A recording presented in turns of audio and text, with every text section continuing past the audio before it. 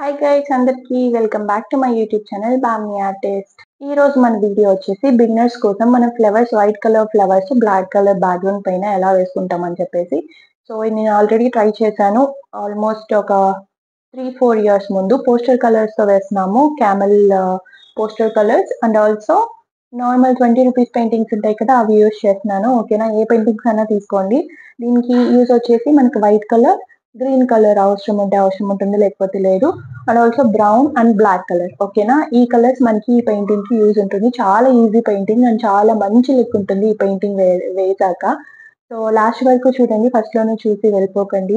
And first time నా channel చూస్తున్నట్టయితే please subscribe చేసుకోండి. ఇంకా వీడియోలోకి వెళ్ళిపోదామా? Let's get into the video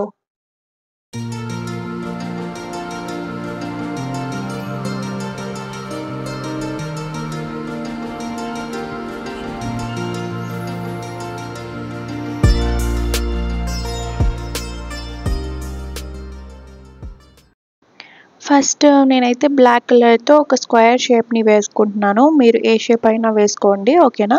A shape అయినా వేసుకొని ఎన్ని ఫ్లవర్స్ అయినా వేసుకోండి. నేను మాత్రం black colour background square shape వేసుకుంటున్నాను. బ్లాక్ కలర్ అండ్ ఆల్సో మీరు థిక్ గ్రీన్ కలర్ కూడా యూజ్ చేయొచ్చు పర్వాలేదు. ఎందుకంటే ఇది అంత ఫ్లవర్స్ వేసిన తర్వాత ఎక్కువ కనిపించదు కాబట్టి మీరు black colour or thick green colour వేసుకోండి. బ్లాక్ కలర్ వేసేసుకున్న తర్వాత మనకి నెక్స్ట్ బ్రౌన్ కలర్ కావాలి గైస్ బ్రౌన్ కలర్తో ఎక్కడెక్కడ ఫ్లవర్స్ రావాలి అని చెప్పేసి మనం వేసుకుందాం. అప్పుడు మనకి ఈజీగా ఉంటుంది. బ్లాక్ కలర్ వేయడం అయితే అయిపోయింది కదా.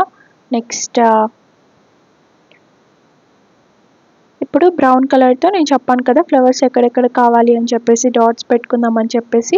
కాబట్టి నేను బ్రౌన్ కలర్ తీసుకున్నాను. బ్రష్ ఇంతకుముందు యూజ్ చేసిన బ్రష్తోని బ్రౌన్ కలర్ తీసుకున్నాను. బ్రౌన్ కలర్తో ఎక్కడెక్కడ మనకి ఫ్లవర్స్ కావాలో మధ్యలో మనకి ఒక కలర్ కావాలి కదా. మీరు ఎల్లో కూడా తీసుకోవచ్చు కానీ దీనికి బ్లాక్ బ్యాక్గ్రౌండ్ పైన మనకి బ్రౌన్ కొంచెం బాగా కనిపిస్తుంది. డాట్స్ అయితే పెట్టుకునేసాం కదా. నేనైతే ఒక సిక్స్ ఫ్లవర్స్ వేస్తున్నాను దీనిపైన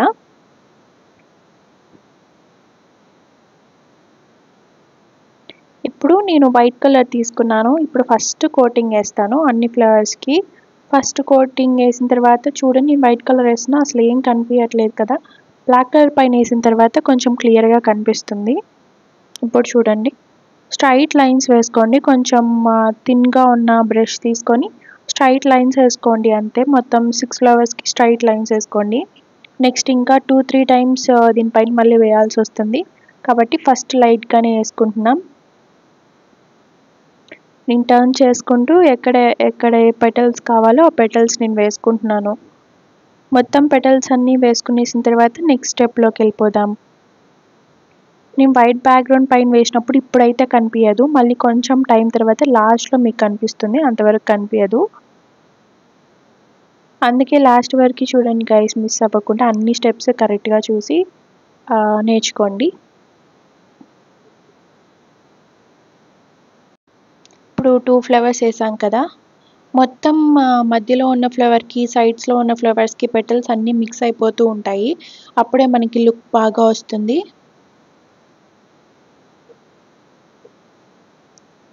ఫస్ట్ కోటింగ్ అప్పుడు లైట్గానే తీసుకోండి. పెయింటింగ్ పర్వాలేదు. బ్లాక్ పెయింట్ వేసినప్పుడు వైట్ కలర్ మిక్స్ అయిపోతుంది. మిక్స్ అవ్వకుండా చూసుకోండి.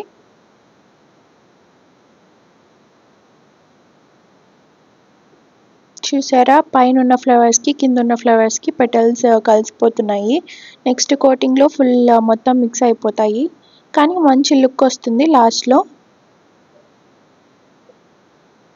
ఇప్పుడు ఆల్మోస్ట్ మనకి వన్ కోటింగ్ అయితే అయిపోయింది కదా. నెక్స్ట్ స్టెప్లోకి వెళ్ళిపోదాం. ఇది అయిపోయిన తర్వాత. అంత లోపల మీరు ఒకవేళ వీడియో లైక్ చేయకపోయింటే లైక్ చేయండి గైస్ మర్చిపోకుండా. ఇప్పుడు ఒక కోటింగ్ అయితే అయిపోయింది. నెక్స్ట్ నేను ఇంకొకసారి తీసుకుంటున్నాను ఫ్లవర్స్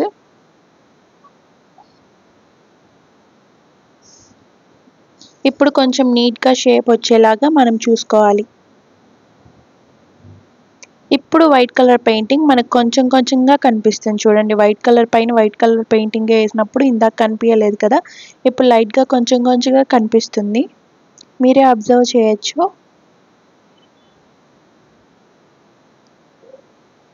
నేనైతే ఫాస్ట్ ఫార్వర్డ్లో పెట్టేశాను కాబట్టి ఫాస్ట్గా కనిపిస్తుంది. కానీ ఇది వేయడానికి చాలా టైం అయితే పట్టింది.